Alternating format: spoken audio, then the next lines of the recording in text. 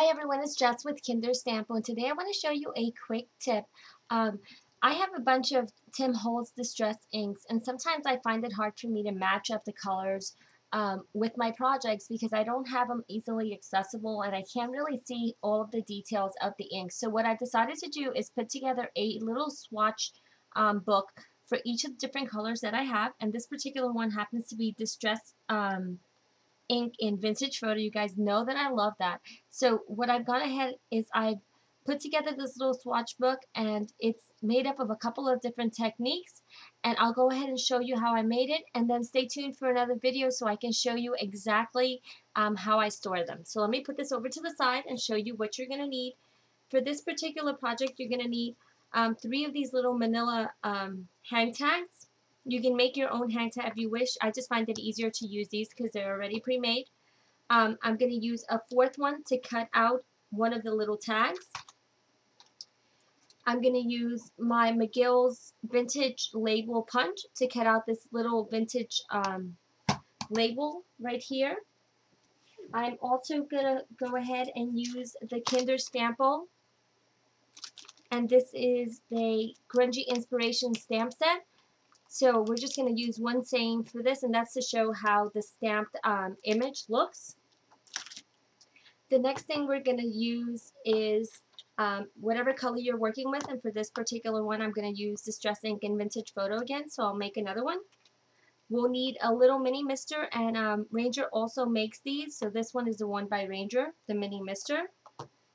We will also need a piece of seam binding. So I'll just go ahead and cut a piece of seam binding right here. I'm going to use white because that'll give me the best effect. And that's all we'll need. So let's put this over to the side and get started. So the first thing I'm going to do is I'm going to move all of this stuff to, out of the way. And I'm going to put the main um, tag in the middle.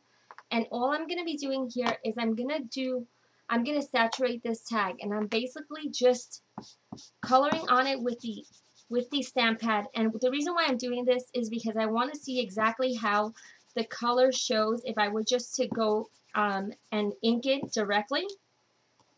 So this is what it'll look like. And I tend to do this a lot on my projects, so I find it really valuable to be able to have this on the side so I can match it up with my projects. So that's all you do for that. And then one thing I forgot to mention was you're going to need a heat tool just to heat set everything. So let's go ahead and heat set this. And you'll notice that um, the Tim Holtz Distress inks tend to react with both heat and water. So it's really good to have um, one of these swatch books available because a lot of times, although you're just looking at the ink pad and you assume that this is the color that it's going to look like, um, you'll notice that once you dry it or you wet it, um, it'll look a little bit different. So that's something that I like to keep in mind. So there goes that one. So now we'll move this over to the side and you notice that it curls a little bit depending on how you heat it. Um, you might be able to just straighten that out really quickly.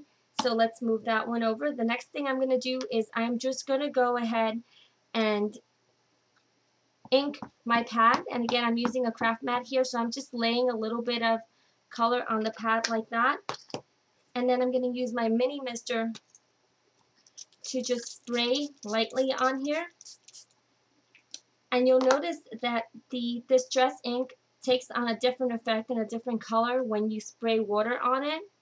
And all I'm doing is I'm pressing the tag onto here like this and saturating my tag. And you'll see that the color that it's taking on once the water, it's a very diluted brown. And I love that.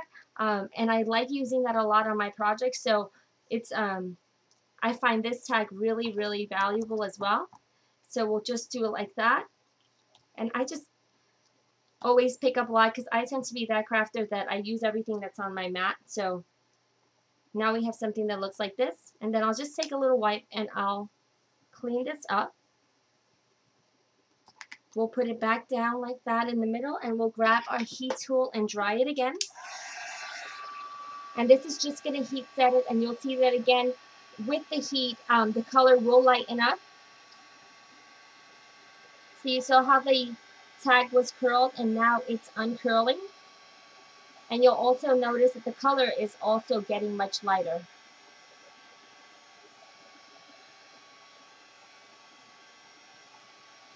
So there we go. There goes the second tag and the second technique that I want to be able to um, include in my swatch book. The third one I'm going to do is a wrinkled um, tag and all you do is you literally take the tag and you just wrinkle it. I take it in my hand and I crush it up like this. Um, there's no right or wrong way to do this. It's just really quick like that. And then you're going to go ahead and put it on your mat again and you're going to take your um, distress ink in whatever color you're using, vintage photo in this case, and you're just going to rub it on the tag. So you're going to see that um, because you wrinkled it up, the distress ink is going to pick up only the, the areas that are lifted and are wrinkled, and it gives you a really, really awesome effect. And then the next thing I do is I take, again, my um, Ranger Mini Mister, and I spray it. So you'll see how um, the ink will react once it's sprayed. This also helps that when I heat it, it actually sets um, it a little easier. So I'm, again, I'm just going to clean my mat with a little wipe. And now I'll grab my heat tool and dry this up. So I'm just going to dry this up really quickly. Make sure that I set all of those colors in there.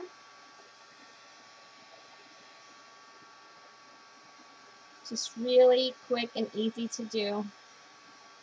And what I love about this effect is that you get the richness of um, the saturation of the color, but you also get that translucent look because we've added the water on there. So now we're done with that. And if you want to use an iron for this, you can flatten that out even better. I like the texture of it, so I leave it like that. So now we have these three tags. The next thing I do is I take just another plain tag and I'm going to just go ahead and cut a punch with my vintage label. Okay, so the next thing we're going to do is we're going to go ahead and grab that little piece that we punched out. And because I tend to do a lot of inking on the edges, I want to have a little um, sample of what it looks like when I just ink. So I'm going to use um, this Tim Holtz Distress tool with this little foam pad on here. See this one I use all the time for my vintage photo so it already has that color. All you're going to do is you're going to take your ink pad and you're going to dab into it. And now you're lightly just going to um, roll, pass, press your dabber on the edges of this and it's just inking up the edges. So now I'll know just by looking at this little swatch how my project is going to look if I just ink the edges. So we'll put this over to the side now. And then the next thing I'm going to do is I'm going to go ahead and grab um, a sentiment. In this case, I'm going to be using the, um, the Live sentiment. And all I'm going to do is take this same little um, punch out die cut here and we're going to ink it, ink our stamp with the vintage photo and just press down like that. So now I see what it would look like if I were to stamp with this color. Now I'm going to go ahead and take my, my Crop-A-Dile. So here goes my Crop-A-Dile and now we're just basically putting all of this together. You'll need one of these little grommets. I'm going to go ahead and take a piece and take a hole. So now we have a hole here. We'll take our little grommet and put it through. And now we'll just press and seal. So now that will be nicely secure on there. So now we have these three tags and this little um, punched out image. And then the very last thing I'm going to do is I'm going to take a piece of seam binding. And this is actually one of my favorite things to do so I'm going to go ahead and color this. So all I do is I put the seam binding on my mat and I'm just going to rub the ink on there. Um, I don't know if you guys knew, but you can absolutely do this with your ink pads. So we're just rubbing it on here like that. And then we're going to go ahead and take, again, our mini mister. and we're going to wet this. And you see what's happening when you wet it? It's completely saturating the ribbon. So now you have a gorgeous, gorgeous ribbon colored in the same color as your distressing. I'll move this over to the side again and just wipe this area up like this. I just like to keep it really nice and neat. And then the next thing I'll do is I'm just going to get um, a reverse tweezer and just kind of hold it down and dry it with my heat tool. Just make sure that it's nice and dry.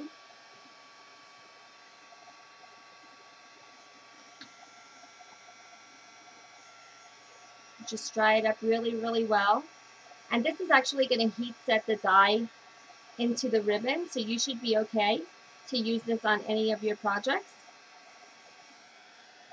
Okay, so now that is nice and dry.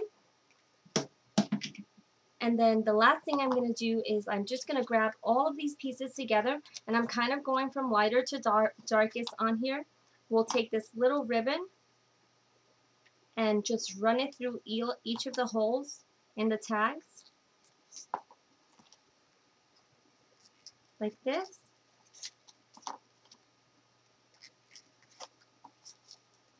And then we'll just not do a double knot.